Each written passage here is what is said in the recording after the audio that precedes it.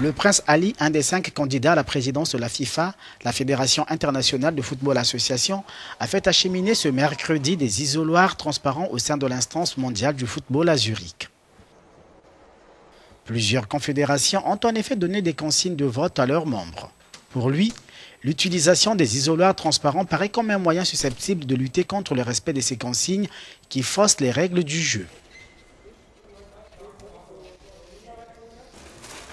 Après le rejet de sa demande introduite auprès de la FIFA, le prince Ali s'est tourné vers le TAS, le tribunal arbitral du sport.